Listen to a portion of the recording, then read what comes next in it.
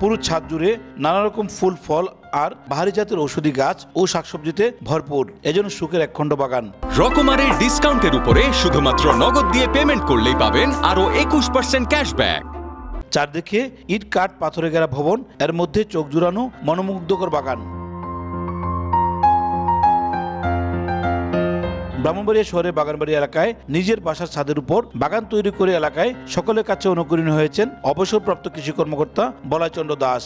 আমার অবসর সময়টা কাটানোর জন্য এটা আমি একটা ভালো পথ মনে করছি এবং আমি এটা আমি মনে করি যে আমার এই পথটা সাকসেসফুল আমি যে আমার সময়টা এই বাগানে সকাল থেকে সন্ধ্যা পর্যন্ত থাকি আমি কাজ করি আমার সময়টা খুব ভালো কাটে। শহরের অবসর সময় কাটানোর জন্য এই উদ্যোগ নেন তিনি। তার এই কাজে সহযোগিতা করেন তার সহধর্মিনী উনি যেহেতু কৃষিবিদ ওনার ছোট থেকে উনি কৃষির সাথে সম্পৃক্ত, উনি কৃষিকে খুব ভালোবাসেন এবং আমাদের বিয়ের পরে আমরা আমাকে এটা সম্পৃক্ত করেছেন। আমিও এখন কৃষির প্রতি অনুরক্ত। আমি ওনাকে এটা করার পিছনে সবসময় সাহায্য করি, আমিও জল টল দিই আর ওনাকে সবসময় এই ব্যাপারে সাহায্য করি।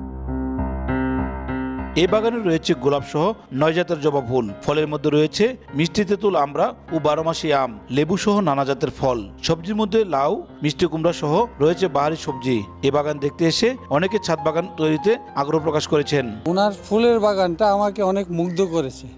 এর আগে দুই বছর আগে আমি যখন এখানে আসি তখন আম ছিল অনেক একটা গাছে।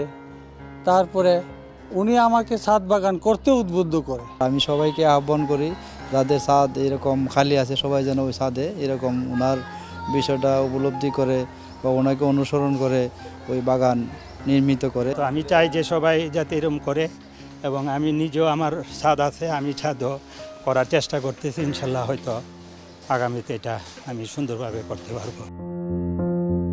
এর আগে দুই হাজার তেরো সালে অবসর যান এই কর্মকর্তা। পরে নিজের তৈরি দুই হাজার স্কোয়ার ফিটের বাড়ির ভবনে তৈরি করেন ছাদ বাগান। উজ্জ্বল চক্রবর্তী সময় সংবাদ ব্রাহ্মণবাড়িয়া।